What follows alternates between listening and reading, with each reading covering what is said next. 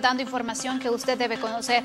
En estos momentos vamos a enlazarnos con Samuel Orozco porque él nos va a comentar acerca de las emergencias que cuerpos de socorro han atendido en Alta Verapaz por las lluvias. Vamos contigo, Samuel. Buenas tardes. Cuéntanos, ¿a quién tienes ahí?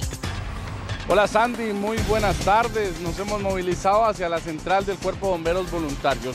Hemos sabido eh, por las indicaciones que se han dado que en el área de Alta Verapaz, Baja Verapaz y otros sectores del norte que, van en rumbo hacia el norte, pues están eh, teniendo alerta, incluso alerta naranja y alerta roja.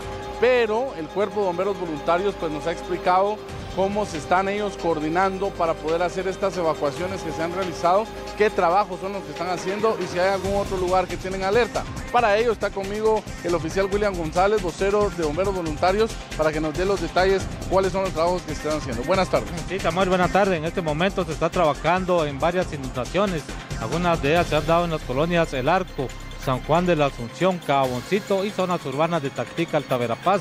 También en el kilómetro 215.8, ruta al municipio de San Pedro Carchá.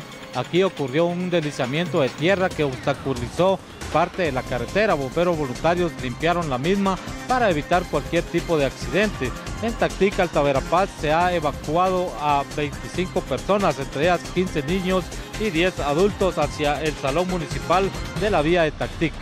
Eh, oficial, es importante mencionar la labor que hacen los socorristas al momento de que esto se da.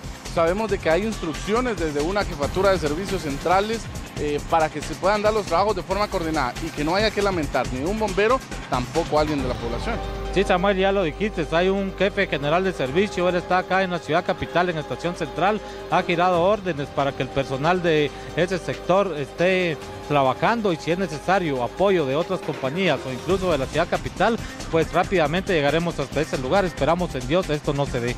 Bueno, es importante mencionar también cuando el invierno se va, que se tenía programado que podría ser en, la, en esta quincena de octubre o todavía la segunda quincena de octubre, eh, cuando sea el invierno, hay mucho más azotes de los embates de la naturaleza. ¿Está preparado Bomberos Voluntarios para atender estas emergencias?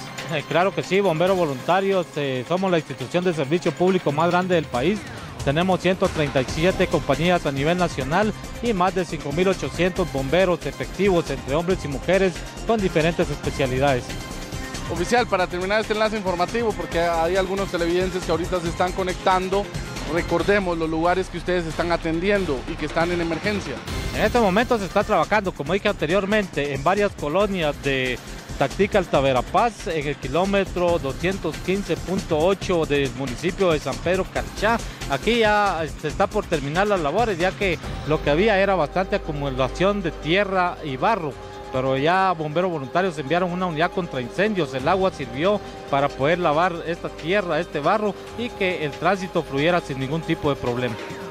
Muchísimas gracias, oficial William González. Siempre nos dan los detalles ahí directos. Andy, afortunadamente no se reportan víctimas por el momento. Sí han evacuado bastantes personas, pero esto se hace en un trabajo coordinado de la mejor forma posible. Aquí en la ciudad capital, pues ya ven ustedes, nuestro compañero José Conzajay va a mostrar, está bastante nublado.